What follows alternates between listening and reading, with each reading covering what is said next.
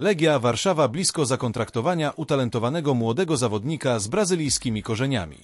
Ale zanim zaczniemy, proszę wszystkich prawdziwych kibiców Legii Warszawa o subskrypcję naszego kanału, aby nie przegapić żadnych emocjonujących aktualizacji dotyczących naszego nowego wzmocnienia. Wojskowi nie przestają działać. Po czterech emocjonujących wzmocnieniach są blisko zakontraktowania piątego wielkiego nazwiska dla drużyny. Według wiarygodnych źródeł z meczyki.pl klub ze stolicy intensyfikuje negocjacje w sprawie sprowadzenia Marcela Mendesa Dudzińskiego do zespołu. Puszcza Niepołomice i ŁKS Łódź również są zainteresowane, ale Legia jest zdeterminowana, aby zapewnić sobie ten talent.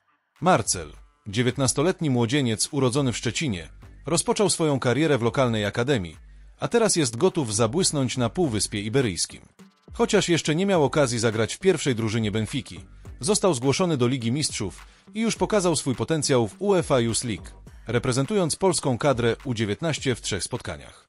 Z imponującym wzrostem 193 cm i wyjątkowymi zdolnościami fizycznymi, Marcel obiecuje wzmocnić naszą obronę w spektakularny sposób w tym sezonie. Teraz chcę poznać Twoją opinię. Zostaw swoje komentarze poniżej i nie zapomnij zasubskrybować naszego kanału, aby uzyskać więcej ekskluzywnych aktualizacji dotyczących Legii Warszawa. Pokaż swoje wsparcie, zostawiając lajka i dzieląc się tym filmem ze swoimi przyjaciółmi, którzy kochają piłkę nożną.